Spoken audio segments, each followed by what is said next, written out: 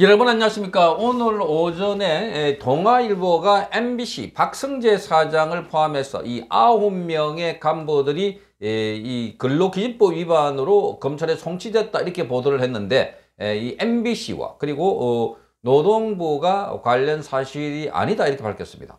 아, 노동부는 다만 아, 지금 박성재 사장에 대한 아, 특별 근로 감독은 어, 이미 했고 그래서 이 결과를 정리 중에 있다 이렇게 밝혔습니다. 곧 발표할 예정이라고 말했습니다.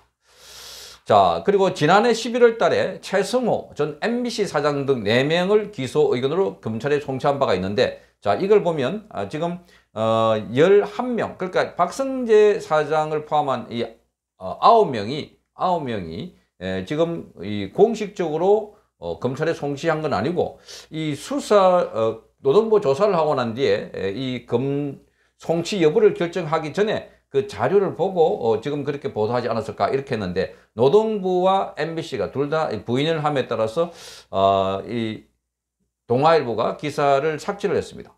자, 그런데 여기를 보면 어, 박, 그 박성재도 곧 기소될 것으로 이렇게 어, 보고 기사를 쓴 것 아닌가 이렇게 보여집니다.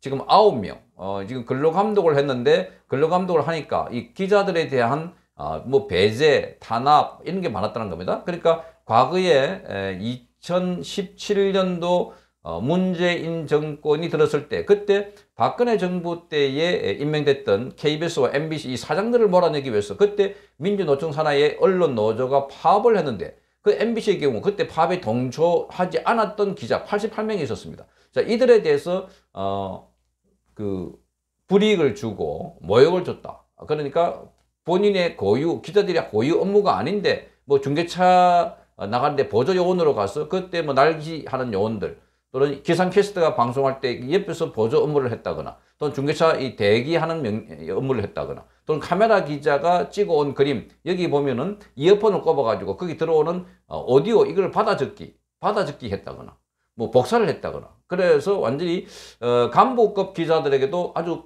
어, 모욕을 줘서 회사를 아예 떠나라라는 아, 무언의 신호를 보낸 것 아닌가 그렇게 상당수 기자들이 또 사퇴 그만두고 회사를 그만두고 나온 걸로 전해지고 있습니다.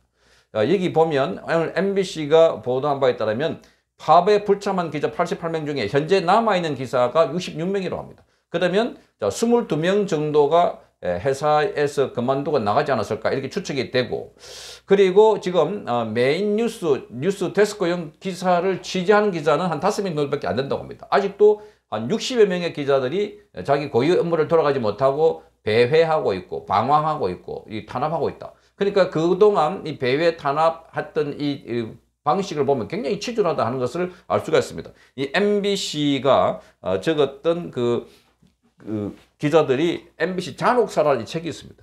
여기에 잘 나와 있습니다. 이 MBC 잔혹사에 보면은 책상 뭐 밖에 없는 책상 하나밖에 덩그러니 없는 그런 창고 같은 곳에 사람을 집어넣어 놨다. 어, 데스크 탑도 없다. 그리고 아니면 어, 직원들, 부하 직원들이 많이 있는 자리 한가운데 에, 과거에 국장했던 사람, 간부했던 사람 자리를 줘가지고 어, 가운데 있는 사람들 다 쳐다보게 그렇게 해서 모욕을 주려고 했다. 뭐 이런 이야기들이 제기되고 있는데 자 이런 걸 보면 아, 지금 과거에 이 최성호가 이끈과 관련해서 어, 제일 먼저 이 부당 노동 행위를 했고 그 다음에 이어서 박성조도 그걸 그대로 했다 이런 비판을 받아왔는데 최성호는 지난 11월 달에 어, 관련된 어, 검찰의 기소 의견으로 송치가 됐다는 겁니다. 자 그러면 최승호에 이어서 박성재도 곧 송치가 되지 않을까 이렇게 보입니다. 박성재도. 그러니까 이, 이 동아일보가 이렇게 기사를 쓴 것도 어, 박성재와 최승호를 헷갈린 게 아니고 최승호는 지난해 11월 달에 4명과 함께 이렇게 전체 에, 이 송치가 됐고 그러면 이 박성재는 어, 박성재는 아홉 명과 함께 한보들과 함께 지금 어, 송치가 될 예정인 걸 보고 이렇게 있었지 않을까 이렇게 보이는데 어쨌든 지금 만약에 그렇게 되면 어, 최성호와 박성재 문재인 정부 들어서서 이제 사장 자리를 바로 주고받았던 최성호와 박성호가 모두 검찰 손으로 넘어가게 될 것으로 보입니다. 그러나 이 박성재는 아직까지도 구체적으로 검찰에 넘어갔다 하는 것은 어, 보이지 않고 있습니다. 그런데 분명한 것은 노동부가 특별 근로 감독을 했다는 사실입니다. 특별 근로 감독. 자, 특별 근로 감독을 했고, 어, 그래서 어, 서부지청에서 이번 근로 감독과 별개로 서울 서부지청에서 부당 노동행위 신고 사건을 조사하고 있다고 합니다. 자, 그래서 MBC는 이것과는 관계없이 그 반박을 내고 어, 박성재는 부당 노동행위와 관련해서 기소된 바 없다 이렇게 했습니다.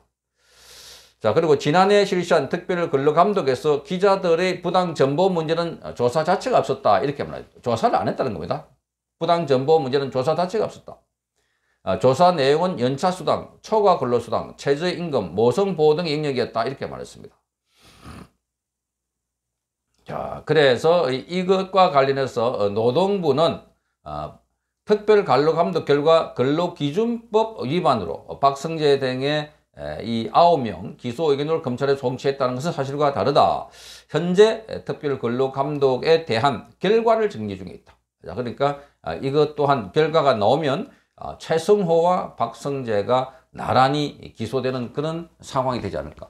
아, 지금 계속해서 MBC 안에 이 탄압, 억압, 배제에 대한 목소리가 계속 나오고 있습니다. 아까 제가 보여드렸던 MBC 잔혹 사이도 보면 거기에 88명 어, 이 기자들에 대해서 어, 말로 다 하지 못하는 여러 가지 억압이 있습니다.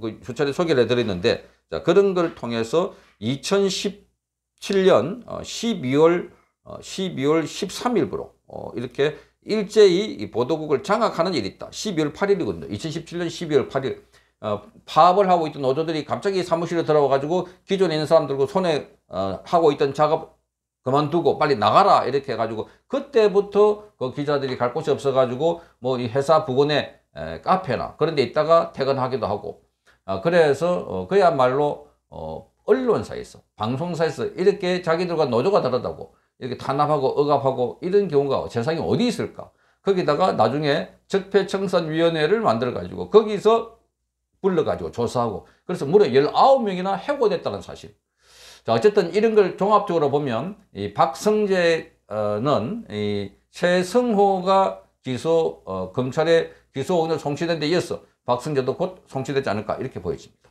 자, 그러니까 박성재 그리고 어, 그 앞에 있는 최승호 이렇게 방송을 장악했던 세력들 이 세력들이 심판을 받을 날짜가 다가오고 있다.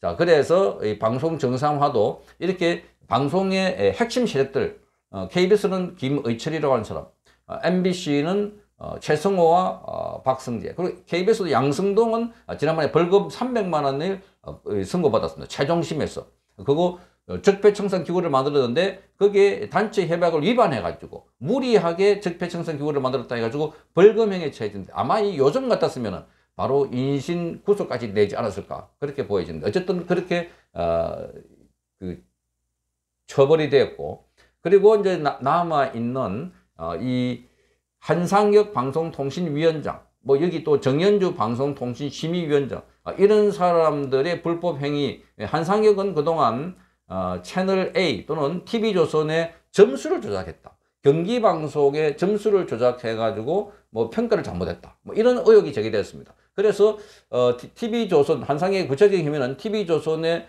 평가 점수를 조작했다는 혐의와 관련해서 지금 어, 수사를 받고 있는데 그래서 여기도 조만간 어, 결론이 나게 되면 이 방송가의 정상화가 곧 바로 이루어질 것으로 어, 이렇게 전망이 되고 있습니다. 자, 그런 차원에서 오늘도 보도해 드렸는데 EBS의 유시민의 누나가 유시춘이라고 그 사람이 지금 EBS 이사장으로 있는데 과거에 문재인 캠프에서 활동한 걸 그걸 속이고 어, 거기 EBS 이사장 자리로 갔다 해서 다시 감찰을 하고 있다고 합니다. 전반적으로 방송가에 지금 찬바람이 불고 있다. 그동안 이렇게 왜곡 조작하기 위해서 어, 무리하게 방송을 장악하는 사람들. 그들이 또 무리하게 방송을 해가지고 대통령을 공격하고 저격하고 어, 이렇게 비판했던 세력들. 하나 둘씩 법의 심판을 받을 것으로 보입니다. 성창경 TV였습니다.